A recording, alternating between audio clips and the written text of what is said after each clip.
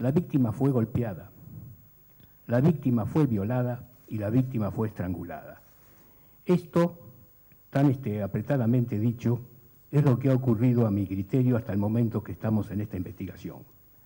Ocurre de que nos encontramos frente a un homicidio que tiene marcadores médico-legales que conectan al homicidio con la violencia sexual. María Marta muere en la cama, hemos ido a hacer el lugar derecho con Torre a examinarlo, o muere en otro lugar. Este, perdónenme, ando tanto entre los, entre los homicidios famosos que confundo los nombres. Bueno, nos preguntamos, ¿dónde se produce su fallecimiento? Aceptamos las dos teorías.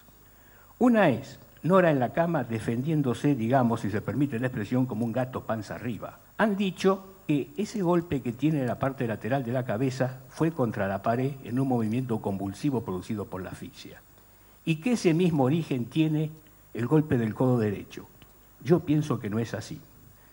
Yo pienso, y aquí justamente una de las críticas es que no hay hecha una autopsia del cráneo, del cerebro, de que el criminal bien pudo tomar la cabeza de la oxisa y golpearla repetidamente contra la pared, en este caso de la teoría en la cama, o contra el suelo, que también es un elemento romo, ya cerca de los pies de ella, y por supuesto ahora arrojarla sobre la cama.